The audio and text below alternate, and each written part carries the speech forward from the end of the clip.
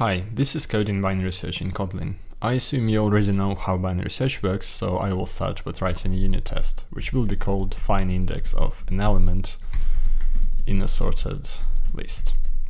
Empty list is a sorted list, so we can search it for an index of 0, where find index of will be an extension function on the list interface.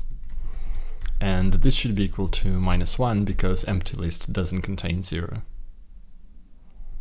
To make this test pass, we can just return minus 1.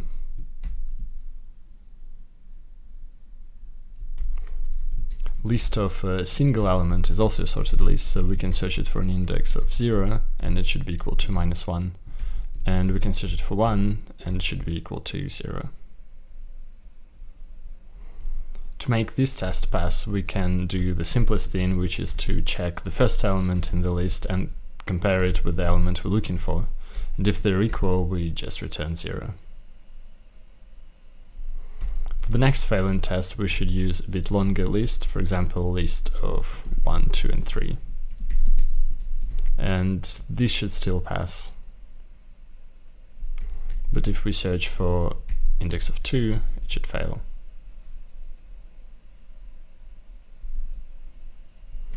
This point we should probably implement the actual algorithm which will be an iterative version of binary search. So we'll have two indices from and to and while from is less than to we'll calculate mid index which will be the index between from and to and mid element which is the element at mid index. If the element we're looking for is less than mid element then we should keep searching in the left half of the range. Otherwise, we'll assume that we found the element and we'll just return mid index. We also need to make type argument comparable. So this should pass the test. Obviously, this is an incomplete implementation because if we search for 3, the assertion will fail because we have the missing condition. When element is greater than mid element, we need to keep searching in the right half of the list. This is index plus one because from index is inclusive. We can now replace if with when, and we should probably add a couple edge cases, for example, searching for two and searching for four.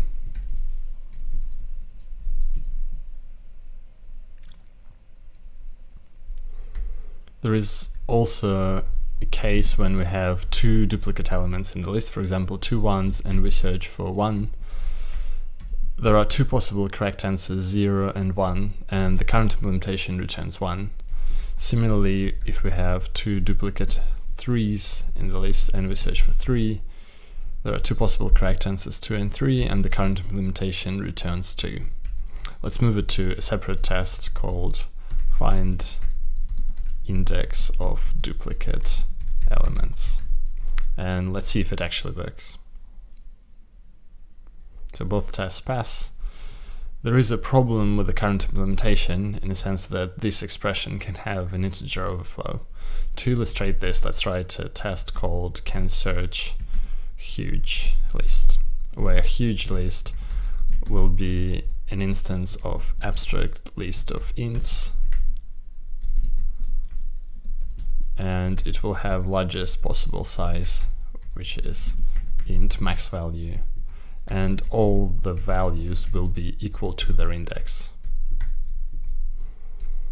We can search huge list, for example, for index of 0, and it should be equal to 0. And this test pass, but if we search for the last element, which is int, int max value minus 1, then it becomes more interesting because the test never finishes, it just keeps running forever.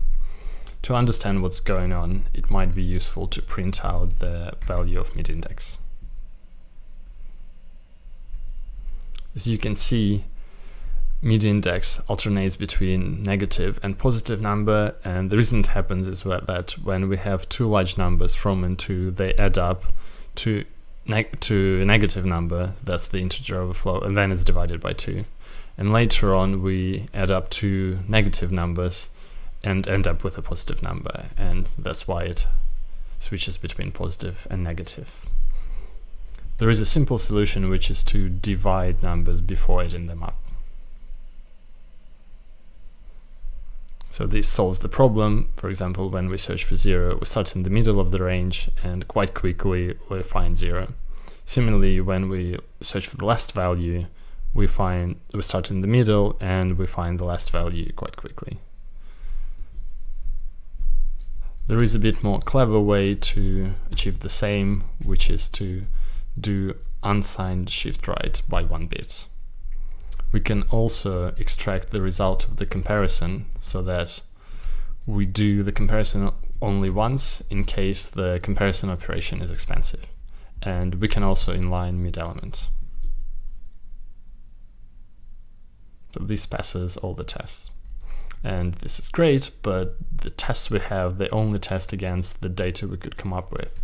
It might be useful to test against some random data, so let's write a test called can search random sorted list. So let's create a list with random values with size range between 0 and 100. It will be a sorted list. And for each element in the list, we will find index of that element and then we can look up element by that index and it should be equal to the original element. So in a way this is property-based testing for random data. And this is all good, but in real world you should think twice before implementing binary search in your project, so I'll just delete the code and use a library instead.